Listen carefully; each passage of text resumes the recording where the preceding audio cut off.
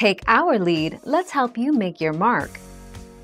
Our goal is your satisfaction. Let us show you the way.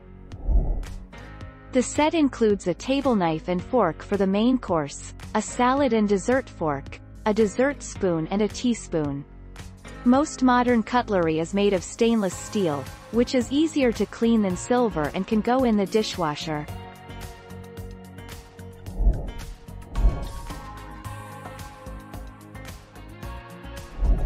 Let's help you make your mark.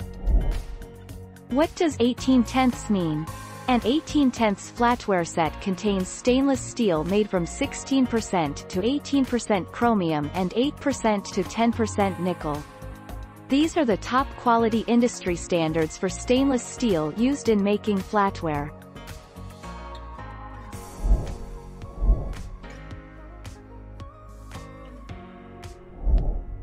Take our lead.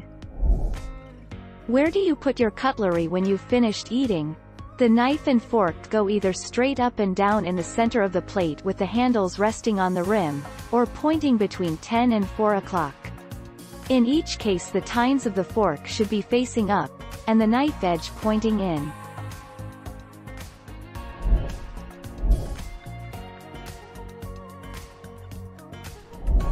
Make your mark, take our lead.